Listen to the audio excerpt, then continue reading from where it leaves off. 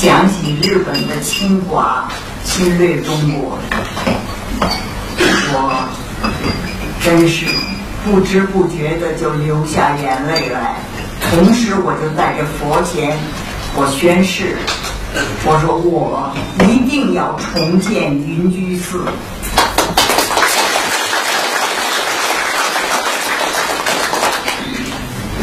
然后我就跟当地的一位管理员说：“我说建重建云居寺大概需要多少钱？”他说：“钱不少啊，要三十万美金。当时的一块美金这都不得了啊，三十万美金。”我说我愿是发了，话是说出来了，我上哪儿去找这三十万美金呢？于是我就从那个以后，我就开始游走各国有华侨的地方，就把我在房山云居寺的这个愿说给大家听。我说希望你们为了祖国。为了佛法，把这个捐上，希望你们出钱，真是很幸运。不到两年的功夫，我捐了三十二万。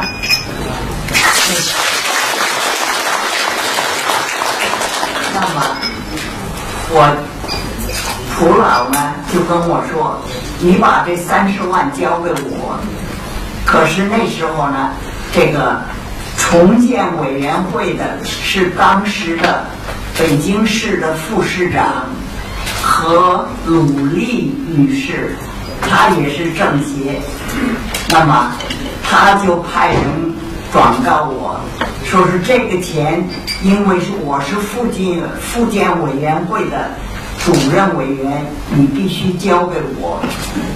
所以，在这个两个人之间，我这三十万交给谁呢？我就跟蒲老说：“我说呀，我们民啊不跟官斗，不能说我不交给你，我交给何何政委。”蒲老说。你知道啊，我这还有个大相国寺也被毁得很厉害。我希望你能够给大相国寺也捐点钱。我说这以后再说吧。那么我就把这钱交给了何鲁丽。何鲁丽，你接收这个笔钱的时候呢，那么那是非常的庄重。等到我走到云居寺，我一看。四座被炸的四座大殿都已经修好了，而且呢，在修大殿的时候发现了佛的舍利，所以在大殿五层大殿之外旁边建了一个舍利殿。然后呢，从前呢，这个国皇帝呀，每一年都要去朝拜舍利，所以原来这有那个皇帝住的殿也盖好了。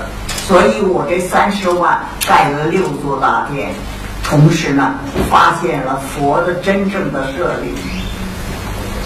我把这钱交给了何鲁丽跟班禅以后，那么我的责任就了了。看见殿已经都修好了，那个砖头瓦砾呢也都排除了，我感觉我这可以有交代了。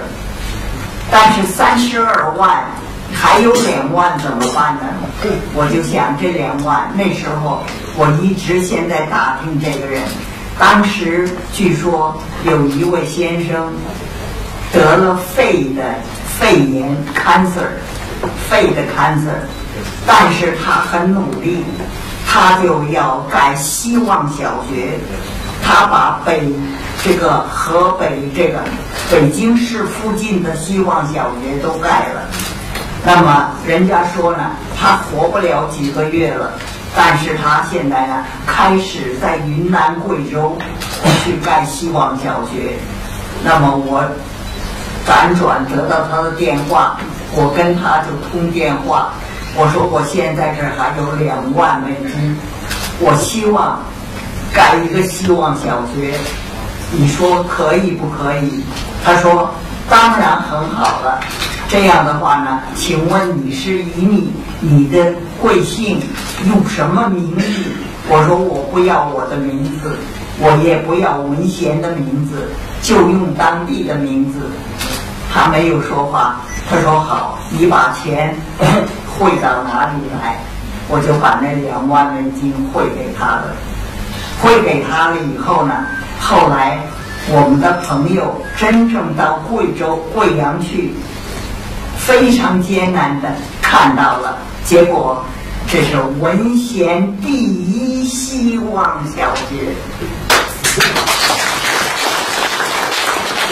不要名字，反而文贤在贵州出现了。这样以后，差不多在贵州、云南盖了十三所文贤希望小学。那时候呢，这样的就让当地的穷苦的人可以在那儿念书。后来呢，这个我这样的话跟赵先生，这个人到了二零零零年，赵夫人给我。